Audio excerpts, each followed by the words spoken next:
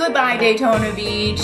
So long, Pelican Bay. And hello, Daytona Beach Shores. Yep, I went ahead and I bought a condo down in the shores, as the locals may refer to it. Daytona Beach Shores is primarily located on beachside.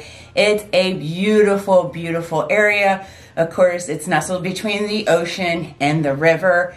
Tons to do, lots of activities, and that's pretty much why I decided to move out of my ever-loving home here in Pelican Bay, which, by the way, will be for sale soon. So anyone looking to move to Pelican Bay, this is one of my last videos I'll be doing in my home here in Pelican Bay as I will be putting it up for sale soon. I am pretty much moved into my new condo in the shores at Daytona Beach Shores, which is absolutely fantastic.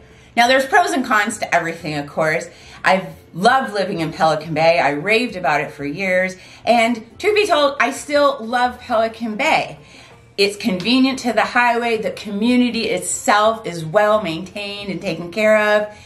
It's close to a lot. You got Port Orange right down the street, the pavilion, you got Tanger outlets. I'm gonna miss all of that. So with everything, like I said, there's pros and cons. I will be in my condo a little farther from the highway and stuff, but as I've made several, several trips moving these last few days from Pelican Bay to Daytona Beach Shores, it's really honestly about 15, 20 min minutes. Now I will just have to travel a little bit farther when I want to go to the Daytona Beach Airport. I probably won't catch a Lyft, which cost me like $10. It, sometimes it was just cheaper to catch a Lyft than park my car at the airport.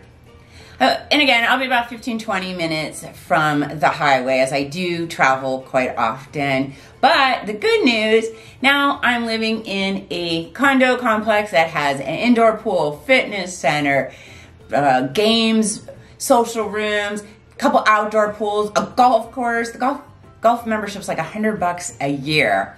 The beach is right across the street. The river's super close by. Dunlawton, a major out, um, major street in Port Orange, is incredibly close as well. It's just gonna be a whole nother lifestyle. So like I said, there's pros and cons. I'm certain I'll be doing a video about the many benefits of living over in Daytona Beach Shores and some of the condos.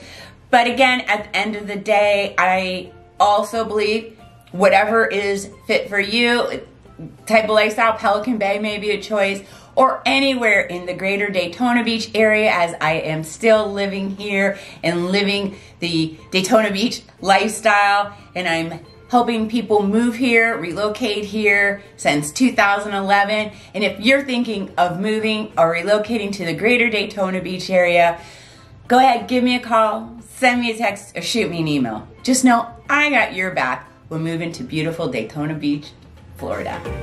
Till next time.